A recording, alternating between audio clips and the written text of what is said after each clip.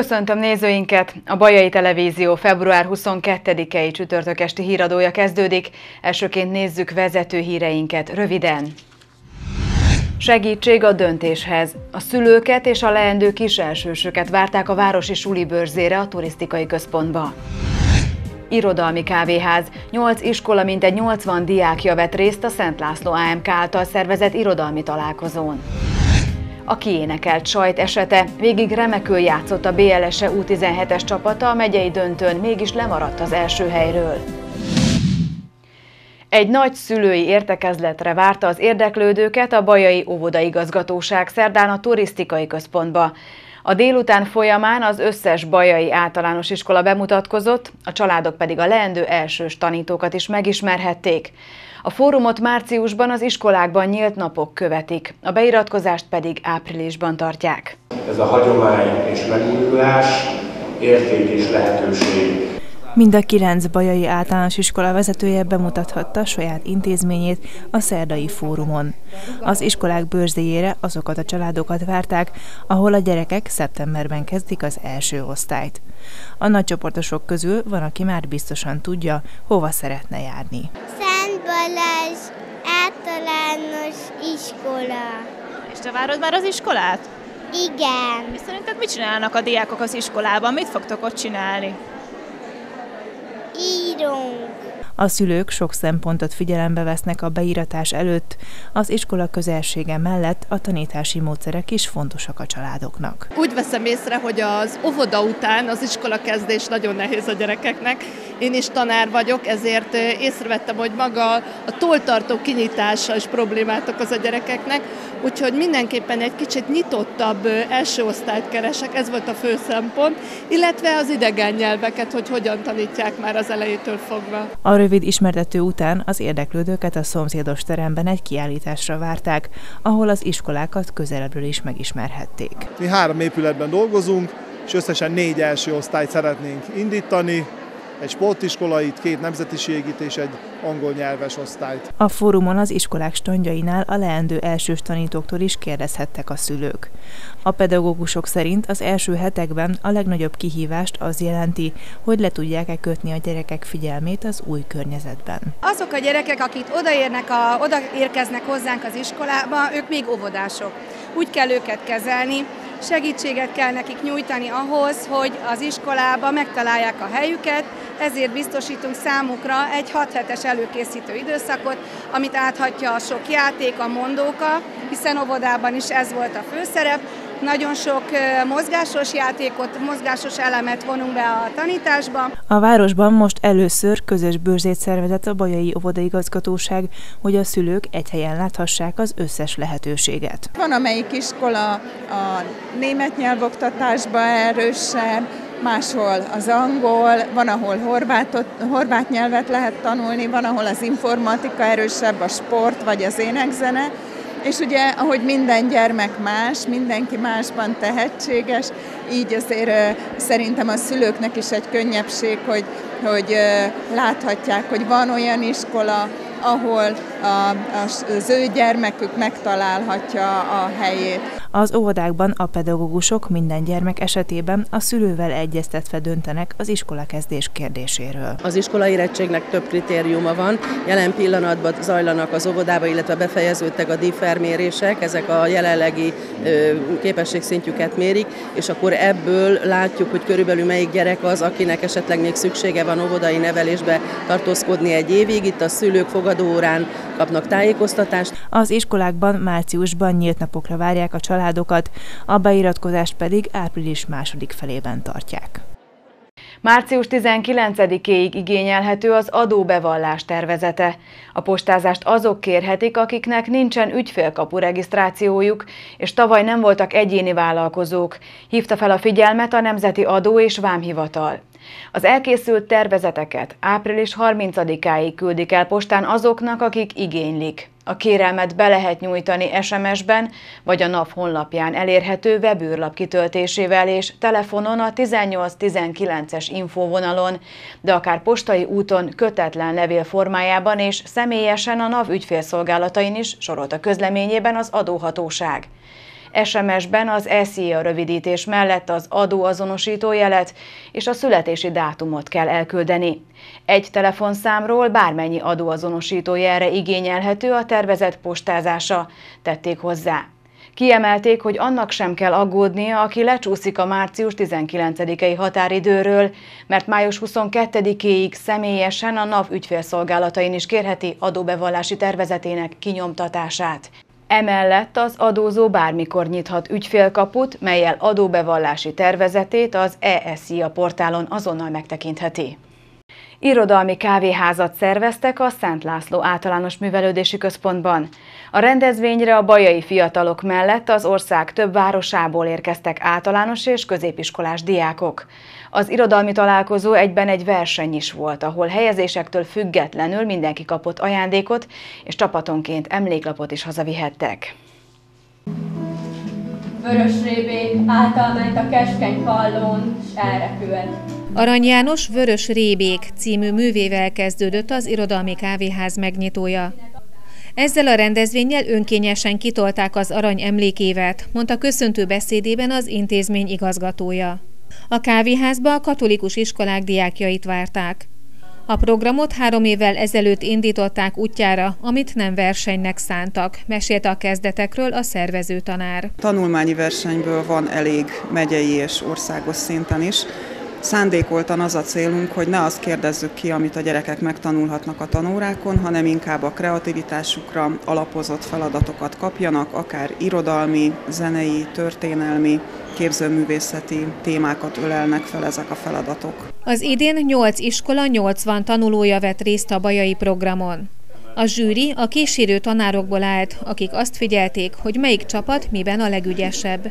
Ez a minősítés került később az oklevelekre is, vagyis például legkreatívabb vagy legszebben beszélő csapat. Most tanultuk ugye az aranyballadákat, és nagyon élvezetes volt, aztán amikor a tanárnő mondta, hogy lehetőségünk van egy ilyen rendhagyó versenyre, akkor nagyon megörültünk neki, és igazából így mindenki nagyon lelkesen jelentkezett. A diákok első feladata például az volt, hogy válasszanak csapatnevet, és írjanak hozzá egy négy soros kis verset. Érdekelt Arany János élete.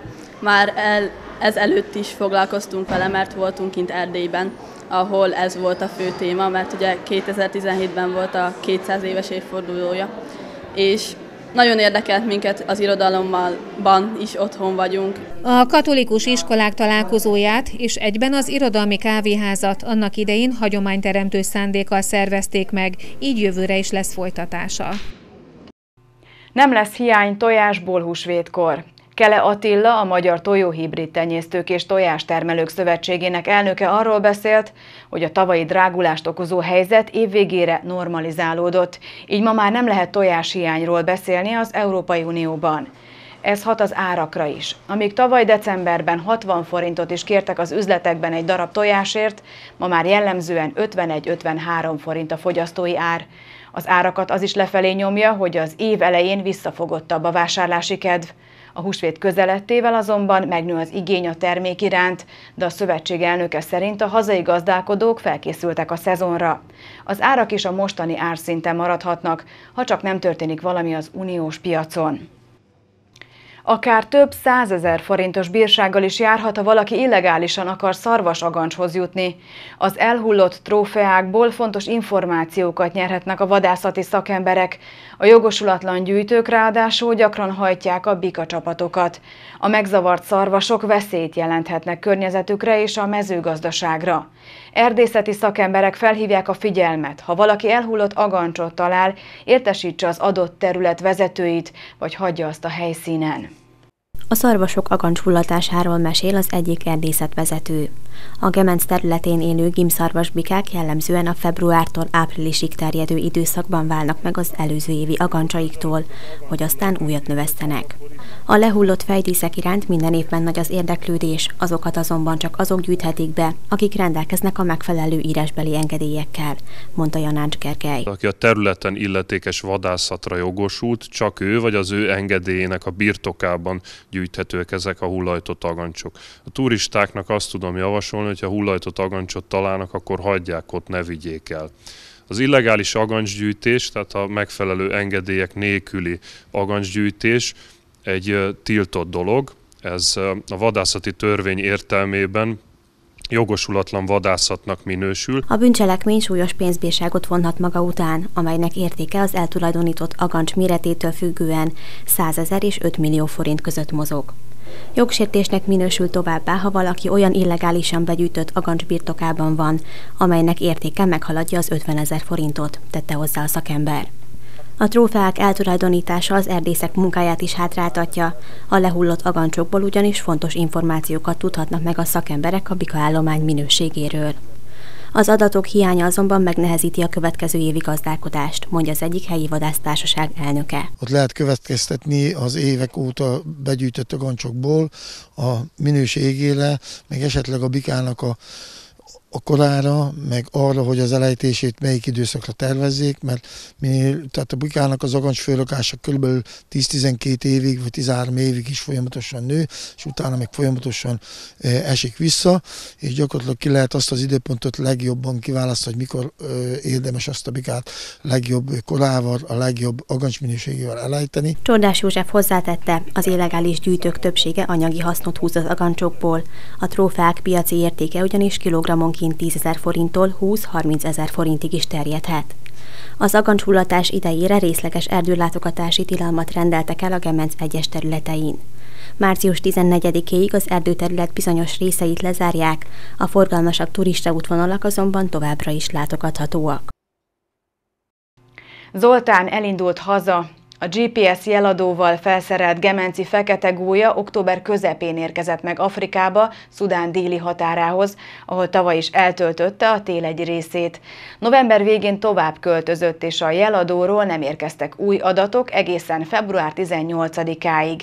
Mint később kiderült, Zoltán 14-én indult el Európa felé ugyanúgy, mint tavaly. Azóta folyamatosan repül, pontosabban napközben, csak éjszakára áll meg pihenni, táplálkozni a Gemen ZRT, a Dunadráva Nemzeti Park, a Magyar Madártani és Természetvédelmi Egyesület és a Baja Ifjúsági Természetvédelmi Egyesület együttműködésében a szakemberek 2015-ben Beára és Jenőre, 2016-ban Zoltára és Kornélra szereltek GPS jeladót. Utóbbi végül nem indult el Afrikába, így Zoltán az első jeladós magyar fekete gólya, amelynek a teljes 12.200 kilométeres útját nyomon követhették a szakemberek és a természetbarátok az őszi vonulás kezdetétől a tavaszi visszatérésig 2016-17-ben. A Fekete Gólya útját térképen most is szemmel tarthatják az érdeklődők a Gemen ZRT honlapján. Megkezdődött a nagybőjt a keresztény vallásban, azaz a farsangot követő 40 napos időszak, amely húsvétig tart. Sokan azonban nem vallási meggyőződésből kezdenek a hosszúra nyúló téli időszakban méregtelenítésbe, hanem hogy kevesebbet mutasson a mérleg. A szakemberek óva intenek, akár az egyik, akár a másik módszer mellett tesszük le a voksunkat, nem árt tudni, hogy milyen veszélyeket rejt, ha valaki túlzásba esik. A tisztítókúra, vagy más néven böjt az evéstől és az ivástól való tartózkodást jelenti. Minden ősi vallás alapjaiban szerepel ez a fajta önmegtartóztatás. A bőtölő megtisztul, és ezáltal közelebb kerülhet Istenhez. Elég, ha a keresztényeknél a farsangot követő húsvétig tartó időszakra, vagy az iszlám ramadánra gondolunk. Eredetileg tehát inkább lelki és csak másodszorban testi megtisztulást eredményez az enni és az innivaló önszántunkból történő megvonása. Mára azonban sokan ebből is divatot igyekeznek csinálni. Dr. Fenyő József főorvos elmondta, senkinek nem ajánlja a drasztikus méregtelenítést, ami például a rendszeresen gyógyszert szedők, a cukorbetegek és a terhes édesanyák számára kifejezetten káros lehet. Amivel mi találkozunk az általában az, hogy, hogy hirtelen kiszáradnak, legyengülnek, és, és ájulnak, elájulnak, szédülnek, vagy a vérbesűrösödése miatt agyikeringési zavarokat okozhat, illetve az ioneltérések miatt szívritmuszavarokat akár, illetve görcsöket, tudatzavart. Úgy körülbelül ez, amivel mi találkozni szoktunk. A főorvos hozzátette, az igazi bőjt napjainkban nem konkrétan a hús elhagyásáról szól, hanem arról, hogy olyan dologról mondunk le, amit szeretünk. Ez az edzőterem is még inkább tömve van január óta, hiszen a legtöbben tudják jobb, ha a mozgást nem kampányszerűen űzik, hanem rendszeres szokással teszik tavaszig, ugyanúgy, mint az egészséges táplálkozást. A terem tulajdonosa Schauer Kornél elmondta, a rendszeresen sportolók, valamint a versenysportolók különleges esetek. Nekik semmiképpen nem ajánlja sem a húsmentességet, sem a jelentős kalória megvonást az edzés mellett. Nem ajánlom, ha csak a vallási meggyőződése annyira nem köti hozzá. Igazából fogyás célzattal, méregtelenítés célzattal semmi értelme, ezek már rég megdőltek ezek a tévhitek, nem létezik ilyen sportolóként pedig abszolút egy elvetendő dolognak találom. A bőjt nem egyenlő a méregtelenítése, ahogyan sokan nevezik, hanem a szervezet tehermentesítése, az emésztőrendszer kímélése. A bőjt étrend ne tartalmazzon cukrot, alkoholos italt, koffein és tein tartalmú italokat, valamint jobb, ha mellőzzük a dohányzást is. A szakszerűen végrehajtott kúra csökkentheti a vérnyomás, az emésztőrendszeri és a bőr problémákat. Lelki oldalát tekintve pedig a lemondás révén fejleszteti az akaraterőnket és a kitartásunkat is. Kezdődik a sportpercek.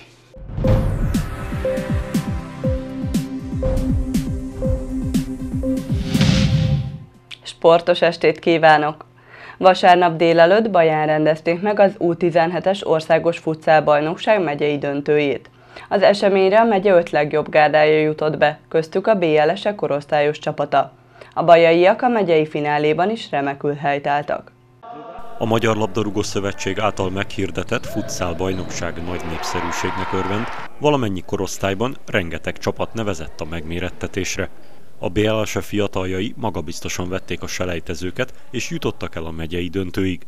A hazai rendezésű tornán a házigazdák mellett a Kerekegyháza, az Izsák, a Kalocsa és a Bácsalmás volt még érdekelt. A Bácsalmással kezdtünk, ott nyertünk 4 0 a Izsák csapatát 5-1-re vertük, és utána jött a kalocsai mérsékeli mérkőzés, vereség, vereséget szenvedtünk, és a Kerekegyház ellen már egy kicsit letört társaság, lépett pályára, de így is magabiztos 4 vagy 5 0 győzelmet arattunk. A mieink számára a Kalocsa elleni mérkőzésen dőlt el a bajnoki cím. A BL sem már 3-1-re is vezetett a mérkőzésen, azonban a kalocsaiak innen is fordítani tudtak, és 4-3-ra megnyerték a döntőnek is beillő összecsapást. Nem volt cél, de szerettük volna megnyerni. Úgy mentünk oda, hogy megnyerjük, nem tudtuk, hogy lesz-e országos döntő vagy elődöntő.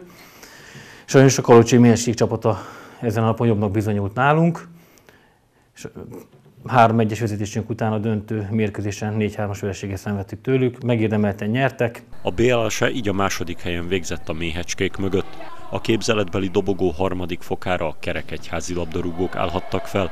A BLS U17-es korosztálya hamarosan már nagypályán kezdi a tavaszi szezont, melyre már hetek óta tart a gárda felkészülése. A labdarúgás utánpótlásért alapítvány korosztályos csapatai szintén tornákon szerepeltek a hétvégén. A LUA U15-ös csapatai az Izsákon megrendezett megyei futszál döntőn szerepeltek, ahol az Algárdánk veretlenül zárt az első helyen, és a tavalyi évhez hasonlóan bejutott az országos döntőbe.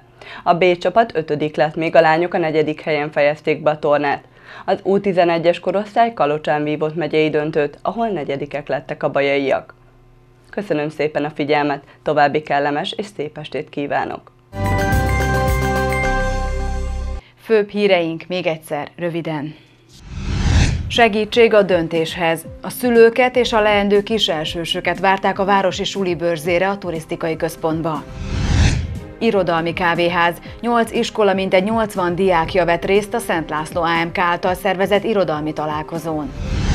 A kiénekelt sajt esete végig remekül játszott a BLS-e U17-es csapata, a megyei döntőn mégis lemaradt az első helyről. A Bajai Televízió híradóját látták. Friss összeállítással holnap este 6 órakor jelentkezünk ismét. Hamarosan időjárás és vízállás jelentéssel folytatjuk. Köszönöm figyelmüket, legyen szép estéjük, viszontlátásra!